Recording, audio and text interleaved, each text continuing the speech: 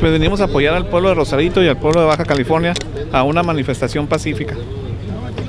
Que los ciudadanos, pues como bien saben, que fue el regalo de Año Nuevo de todos los mexicanos, el aumento de la gasolina y el pueblo pues ya no aguanta, ¿no? Ya no aguanta y aquí los resultados de la sociedad y del conjunto entero de la ciudadanía. Tenemos ya conocimiento que por ahí vienen las autoridades de Pemex este, a un diálogo este, y, nosotros darle nuestras exigencias, decirle a la gente la firma, de, entregar las listas y un oficio de la gente de las peticiones de, la ciudadanía. Eh, lo están elaborando ahorita.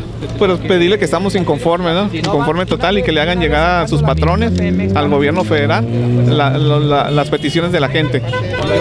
Ellos están aquí para apoyarnos, nos lo han demostrado de que han llegado, para que no se salga de control esto y como les hemos reiterado que es una marcha pacífica y, y pues tenemos la libertad de expresión de todos los mexicanos, estamos ejerciendo en estos momentos. Pues estamos pacíficamente, no creo que haya por qué haber represalias, ¿no? Es una lucha pacífica. Mira, yo pienso que a todo mundo nos afecta, pero hay, hay gente que piensa que quiere que haga uno las cosas por ellos. Nosotros necesitamos bastante apoyo porque no somos, si tú te pones a ver, no somos bastantes aquí. Hay gente que tiene desde las 3 de la tarde de ayer todavía aquí, no han dormido, no han comido y aquí estamos todavía presentes. Y aquí vamos a seguir hasta que, hasta que llegue hasta donde tenga que llegar esto. Todo está pacífico, los mismos federales están diciéndonos que nos estamos portando pacíficamente todo eso. No queremos violencia, queremos que nos escuchen, pero sin violencia, todo tranquilo. Tenemos como unas 2.000 firmas ahorita todavía. Queremos llegar a las 50.000 firmas, por eso estamos pidiendo a todo mundo que venga a apoyarnos aquí.